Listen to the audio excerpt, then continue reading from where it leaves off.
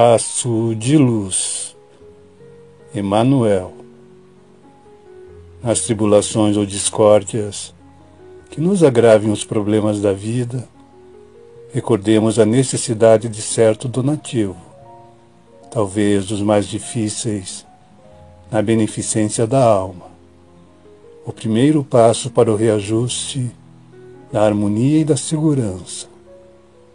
Isso significa para nós um tanto mais de amor, ainda mesmo quando nos vejamos ilhados no espinheiro vibratório da incompreensão.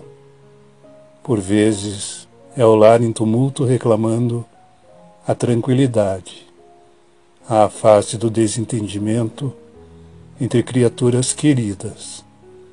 Noutras circunstâncias, são companheiros respeitáveis, em conflito uns com os outros.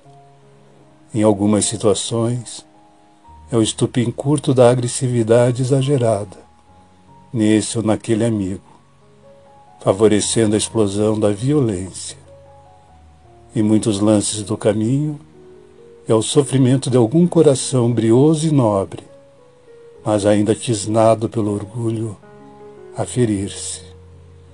Nessas horas, quando a sombra se nos estende à vida, em forma de perturbação ou desafio a lutas maiores, bem-aventurados sejam todos aqueles que se decidam ao primeiro passo da benevolência e da humildade, da tolerância e do perdão, auxiliando-nos na recomposição do caminho.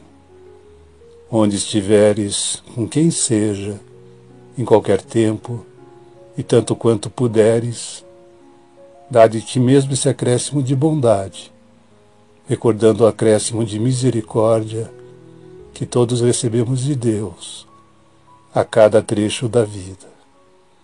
Alguém nos injuria, suportar com mais paciência.